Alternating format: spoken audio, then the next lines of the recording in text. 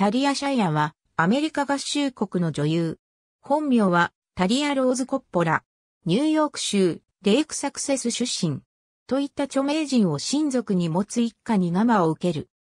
映画サタデー・ナイト・フィーバー2010年などの音楽を担当した作曲家デビッド・シャイアは元夫。俳優のジェイソン・シュワルツマンと歌手のロバート・シュワルツマンは息子である。離婚後に映画制作者ジャック・シュワルツマンと結婚するも1994年に死別。映画監督のソフィア・コッポラ、俳優のニコラス・ケイジが名、老いにあたる。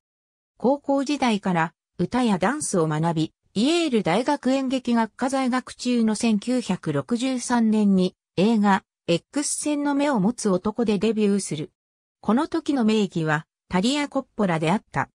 1972年、兄フランシスが監督した映画ゴッドファーザーでアルパチーノ演じるマイケル・コルレオーネの姉子ニー役を演じた。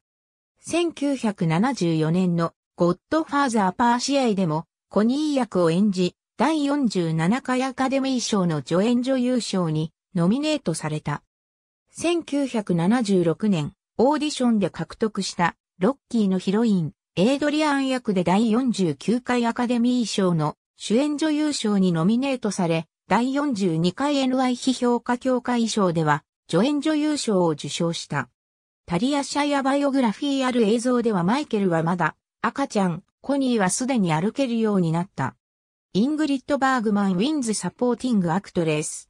1975 Oscars。Oscars、2020年12月15日閲覧。 Faye Dunaway Wins、Best Actress。1977 Oscars。オスカーズ、2020年12月16日閲覧。ありがとうございます。